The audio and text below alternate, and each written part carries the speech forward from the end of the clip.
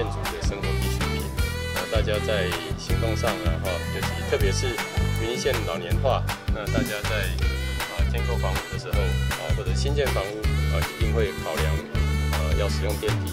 那特别是我们又有这个拜拜的这个习俗，那祖先通常都会安置在二楼、三楼。那老了，那想要去拜又心有余而力不足，那不去拜又觉得对祖先啊不恭敬。在这两难情况之下，只有勉为其难的这啊每个月爬两次这个三楼、二楼，那对长者是一个很辛苦的一个呃一个行为啊，所以也非常感谢县长的体恤啊，让我们这个啊除了在公寓大厦之外，还有我们这个啊乡村的啊这个房子啊在新建的时候，那老年人也能够享有这样的福利。